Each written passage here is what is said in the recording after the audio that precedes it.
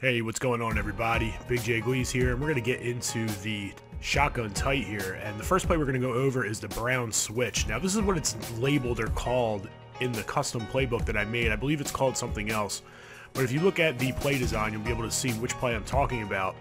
And the route on the right side, if we run this on the left hash, gets extremely open against any type of cover 3 defense. All you have to do is pass lead him down into the inside. The only adjustments that we're going to make is to put B on a slant to the left.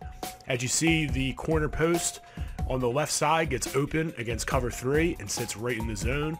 Works out really, really well. We also have the slant pattern and the out. And for some reason, that out, when it's on the left hash, just doesn't get guarded. It doesn't matter if they're in cover three or cover two, which you'll see in a minute. It also gets open against man. It just sits right in between those zones and it works out really, really well. And the B route on the left, we can actually put on a flat and then we can throw the running back to the flat. And it's almost like a homemade screen, particularly if someone tries to blitz you.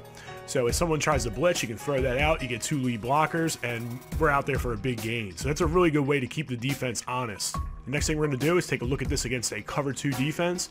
And against cover 2, we're really able to have success both over the middle and up to the right side. As you see, we can lead the tight end on that wheel route up and to the right. And you can throw that right over that flat defender's head, which works out really well, particularly if you have enough time to throw it. You can see right here, we're able to throw it again as we score six points and take the lead. Of course, we're always going to take the lead because we're always winning, right? So right here, you can see the X pattern gets open on his second break against cover two. That X pattern is actually really, really good especially against man, which you'll see in a minute. Of course, we have the slant pattern. It goes across the middle. It gets open against cover two. And you'll see right here that the out actually does get open against cover two. It's really weird how this out route just doesn't get covered. But I guess from that particular set and formation and where he's aligned, the defense just doesn't cover him. Last but not least, we're going to take a look at this play against a man defense. And against man, the out does get open. The X pattern is something that I'm really going to go over and emphasize with you. You'll see when I run that X pattern, I'm able to throw it on both the second break and the first break. So we'll take a look right here. We got the slant over on the right coming across the middle, and that's going to keep the defense honest so he can't guard both sides manually. So you'll see right here that the X pattern does get open on the second break, but next we're going to look at it on the first break. And if you know when he's going to break, you can lead him outside to the left and just bullet pass it. And we have a really big game there. We can really destroy man like this, and it causes the defense to have to manually guard that area. Also not shown, you can see that the A pattern does smoke man particularly if the guy that's manned on him is a linebacker. If it is a corner, sometimes you have to read it but make sure that you're reading it before you throw it, but know that a lot of times that A pattern will get open against man. Now we're going to go over your options from the right hash, and from the right hash, we're going to run PA wide receiver cross. And when we run this play, we're just going to cancel the play action by blocking the running back and putting A on a slant to the left. And you'll notice that we have a very similar type of play to the left side of the field as we did to the right side of the field before, as Y gets wide open against any type of cover 3 defense. You can run those against cover 4 as well, you just have to make sure that you're careful and read the defense, because sometimes that cover 4 guy will sit in the zone just in the right spot to make sure that he can make a play on that. So make sure that you're reading it. Also on the B pattern, we can lead him to the inside, click on and catch it. And again, that's a tight throw. It takes a little bit more skill than most of the throws that we're running in this playbook. So make sure that you're aware of that. Practice it. It's not something that you're just going to be able to go into a game and start throwing. You also have to read the zones underneath. If someone plays zone underneath, you're going to have to wind up making another pass because that will not be open and will get picked. So you have to read the zones underneath and make sure that there's space between the wide receiver, the linebacker underneath, and the safety over top.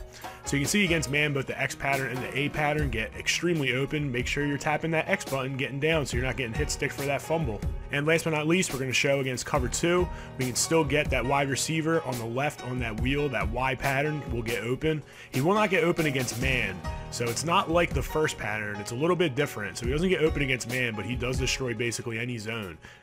You can see that the slant as well as the crossing pattern do get open against cover two. And the B receiver doesn't really get too open against cover two. It's a pretty hard throw to make, so I would make sure to stay away from that throw in that pattern if you read a cover two defense. Now, since these pass plays are so overpowered, luckily for us, in this formation, there's actually a draw. And most people, when they see this formation and you start throwing the ball downfield like I was just showing you, they're going to wind up playing a lot of coverage. They're going to be dropping their linemen off into coverage to help protect against the pass. And this is where the draw comes in.